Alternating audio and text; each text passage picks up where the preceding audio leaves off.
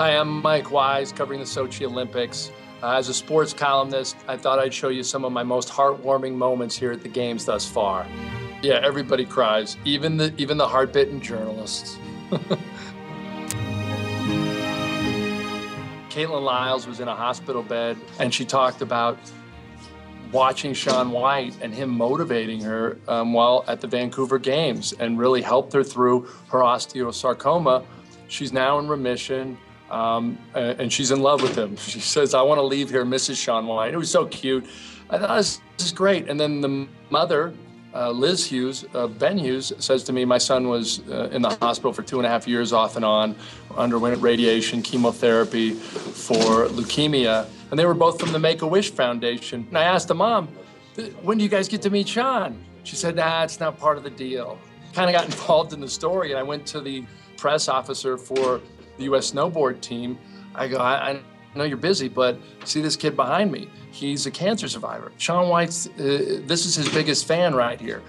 I mean, in, in an instant, it didn't take him a half second.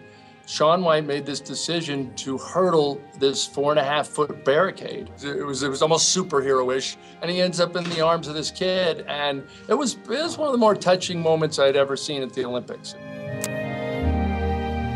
I can't tell you how proud it is to just show up and be at a press event where the person on the days it says wise. And you're like there's a there's a blood relation there. I mean we came from the same great grandfather so yeah it's pretty cool. I'll be there tuesday at the half pipe event. One of the weird things about the media uh, dorm i call it it's supposed to be a, a hotel but it's a dorm and it feels like college it's, you know, it's a little bit Spartan conditions. One of the great things about it is you're contained in this area and they literally bring culture to you.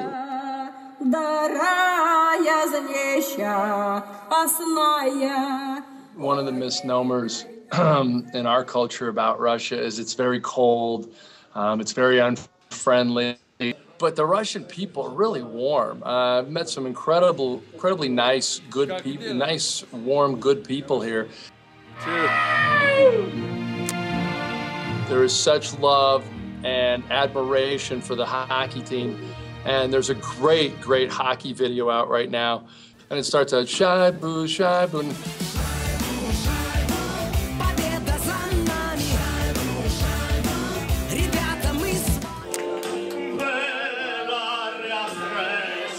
I can't tell you what going to a karaoke bar has been with Dave Sheinin in the middle of the night.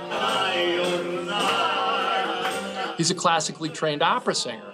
And so the Russians in this karaoke bar, literally after Dave gets done singing, they're almost kneeling and they're coming up to him and they're hugging him. Let's put it this way Dave Sheinin is more welcome right now in Russia than Edward Snowden.